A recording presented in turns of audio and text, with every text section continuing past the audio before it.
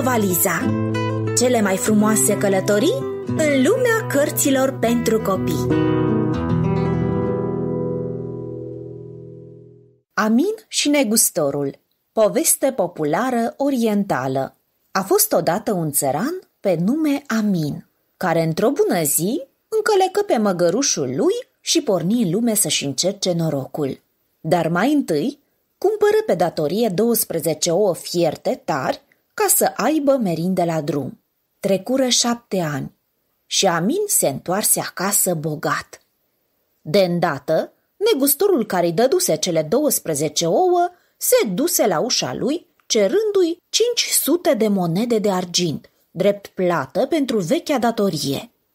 Cum era firesc, Amin refuză să plătească o sumă atât de mare și merse să-și facă dreptate în fața judecătorului. În ziua stabilită, negustorul se prezentă primul la judecată, în timp ce Amin ajunse cu mare întârziere.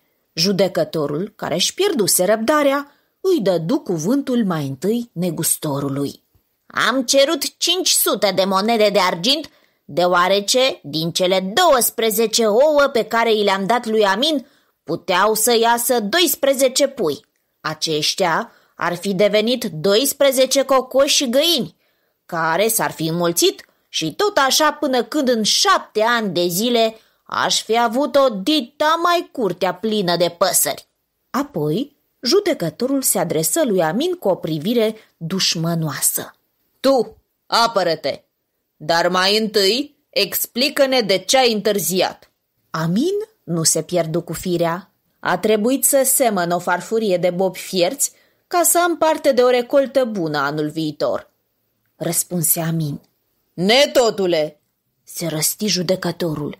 Când s-a mai pomenit vreodată ca bobii fierți să facă rod? Dar când s-a pomenit ca ouăle fierte să scoată pui? Răspunse Amin pe dată.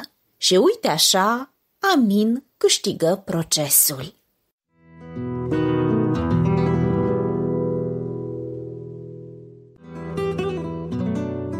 Bibliovaliza, un proiect al Bibliotecii Județene Lucian Blaga Alba și al Consiliului Județean Alba.